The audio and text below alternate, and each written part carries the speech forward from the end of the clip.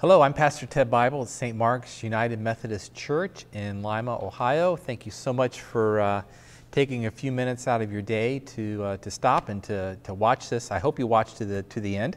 Uh, today I'm going to be sharing with you, uh, we'll be beginning a series on some, uh, some of the men of the Old Testament, some of those who are not quite so familiar to us. Uh, we're not going to be talking about David, Saul, or Moses, but rather we're going to begin a series where we're going to be talking about Boaz, Gideon, King Josiah, Caleb, and today I'll be focusing on Lot.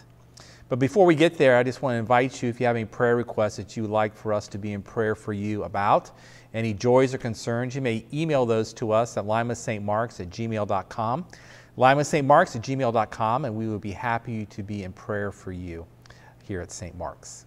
So uh, today we're going to be looking at Genesis chapter 13 as we uh, begin our study on some of these uh, lesser known men of the Old Testament. And here we read this So Abram went up from Egypt to the Negev with his wife and everything he had, and Lot went with him. Abram had become very wealthy in livestock and in silver and gold. From the Negev, he went from place to place until he came to Bethel, to the place between Bethel and Ai, where his tent had been earlier and where he had first built an altar. There, Abram called on the name of the Lord.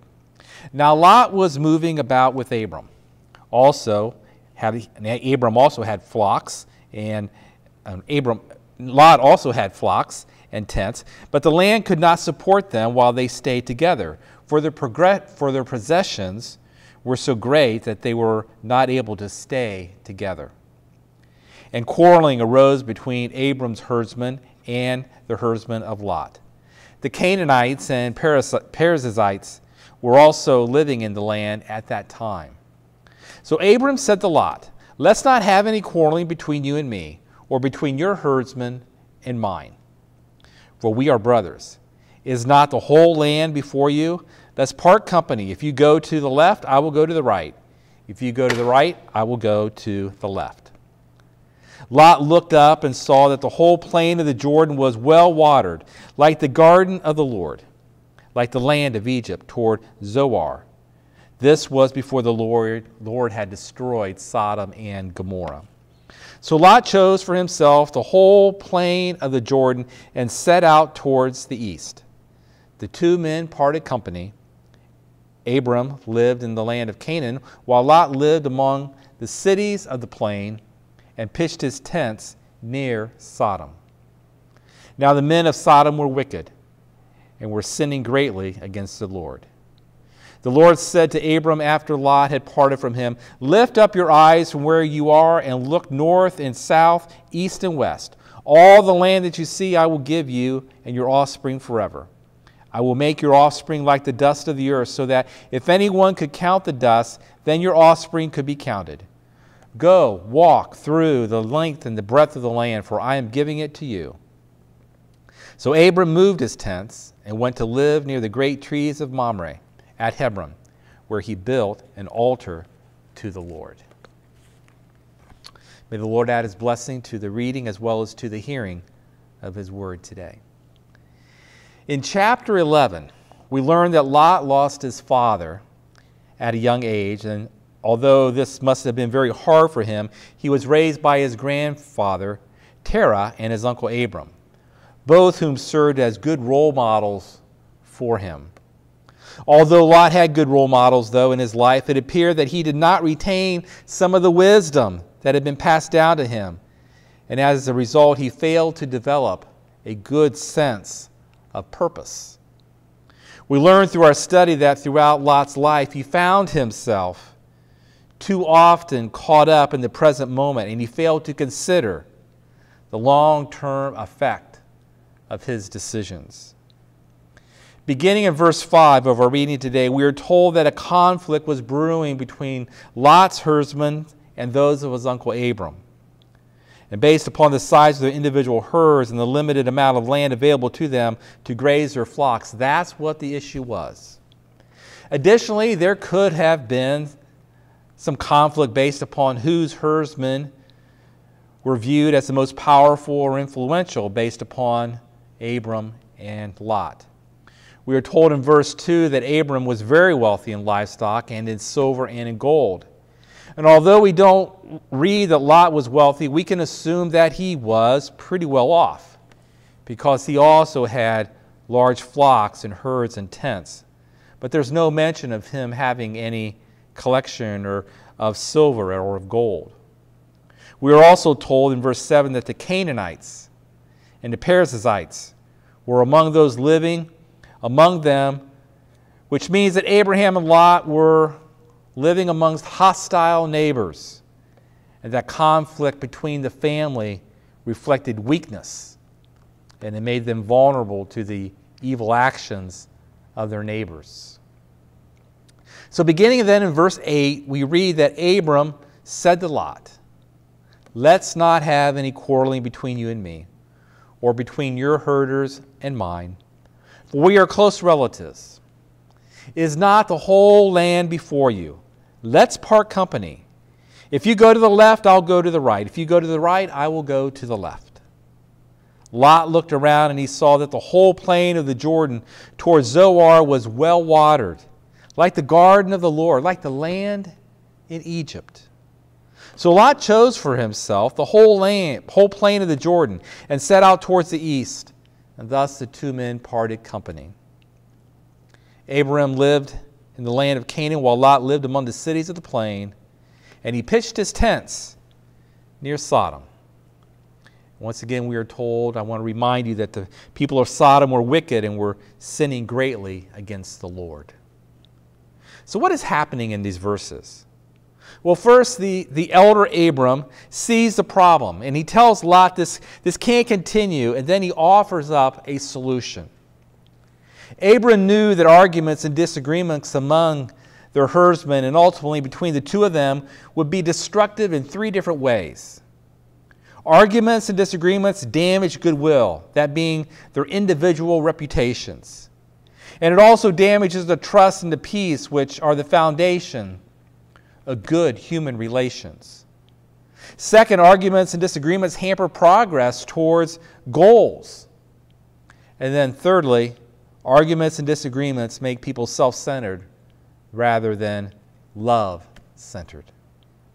Likewise, arguments and disagreements within our families within our political structures, within our community organizations, within teams, and within the church itself can also damage reputations, resulting in a loss of trust. Additionally, progress towards important goals will be hampered. This happens because there's too much time and too much effort focused initially on trying to resolve the conflict rather than working externally to work towards achieving the goals to advance the mission. And then finally, we will see the character of the people changing as they now become self centered, protective of what they considered theirs, whether it is theirs or whether it's not.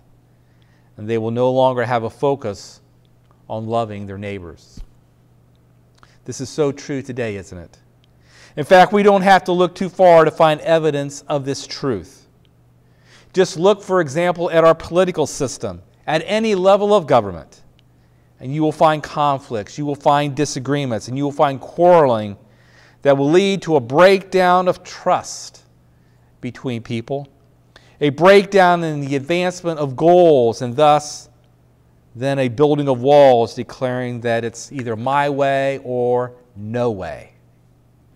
How sad it is to see our society and even our own United Methodist Church in these kind of struggles. And friends, people are watching the church today just as the Canaanites and just as the Perizzites were watching Abraham and Lot. Abraham, Abraham then tells Lot in verse 9, it's not the whole, it's not the whole land before you. Let's part company. If you go to the left, I'll go to the right. If you go to the right, I'll go to the left. Notice that Abram gave Lot the option of what, what land to choose. Abram, the elder, had the right to choose first.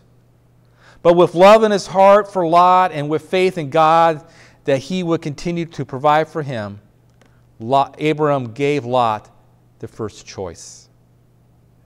So in verse 10, we are told that Lot looked around and he saw that the whole plain of the Jordan towards Zoar was well watered, like the garden of the Lord. So Lot chose for himself the whole plain of the Jordan, and he saw it set out towards the east. Lot's character is revealed by his choices.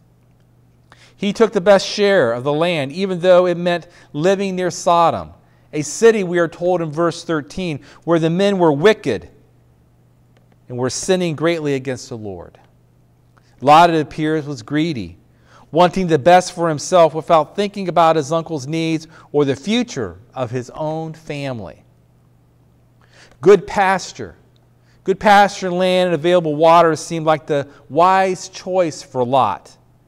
But he failed to recognize that Sodom, the wicked city of Sodom, the city that had been sinning greatly against the Lord, Lot failed to recognize that this place could provide temptation strong enough to destroy his family.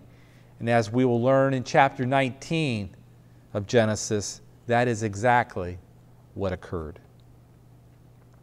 In chapter 19, verse 9, we read that when the two angels arrived at Sodom in the evening, Lot was sitting at the gateway of the city. Who sits at the gateway of the city? The gateway of the city was the meeting place for city officials and for, and for other men to come and discuss current events and to transact business. It was a place of authority and a place of status where a person could be seen and see others. We learn in chapter 19 that Lot is no longer living near Sodom, but now he lives in Sodom. And evidently, he now held an important position in the governor, government, or he at least associated with those who held high positions in the government within the city. So, what can we learn from our brief study of Lot? What is our takeaway from this message today? I believe, first and foremost, we should think before acting. We should think before acting. We should think deeply before making any decision but certainly before making a decision that may have a long term impact on our future and upon the future of our family. And that thinking process should include time for consultation with others, others that you trust, and it should also include time, spending time in prayer to God, seeking His direction for where we should go forward. A thorough study of Lot will inform us that he never consulted his uncle Abram to collect information or facts.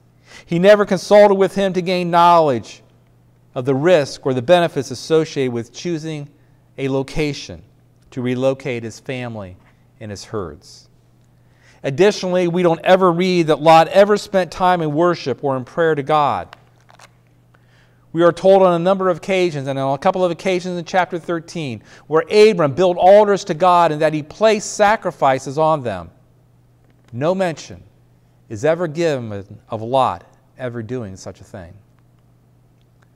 The second thing we can learn from our study of Lot is to not get sucked into or, or associate with an evil group or an evil community. We don't know why Lot decided to move into the city of Sodom. But once he did, he started hanging out at the gateway of the city and he began associating and being influenced by the wicked people of the, of, in uh, the culture of Sodom.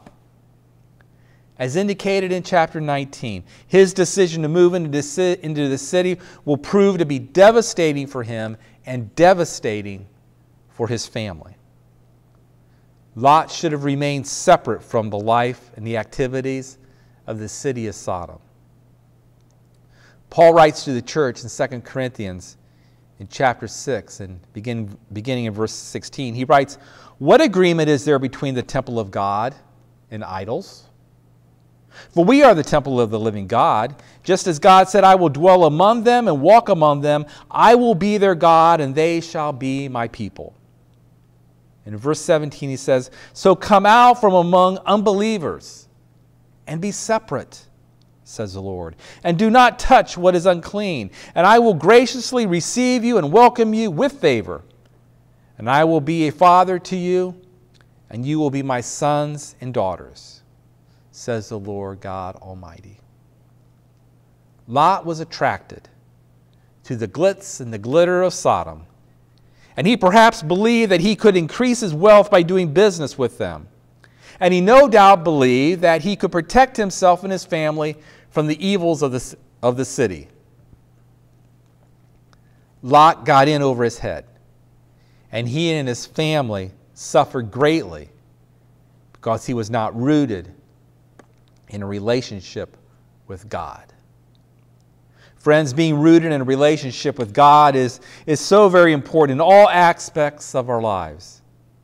Consulting God on the big decisions is no more important than consulting God on the little decisions. God longs to be involved in every decision and in every aspect of our lives. If you haven't already, then I encourage you to invite Him to be in your life. I, invite, I encourage you to invite Him to guide you and direct you in the choices that you are making every day the big choices and the little choices. Invite Him to guide you in the directory and direct you in your journey of life. Let us pray. Heavenly Father, we pray that through our brief study of Lot, that we can learn from his weaknesses and from his life experiences to place our full faith and trust in you in all matters and in all decisions of our lives. Father God, fill our hearts today with your peace and your confidence as we continue to trust in you with every area of our lives. This we pray in the precious name of your Son, Jesus Christ, our Savior and our Redeemer. Amen.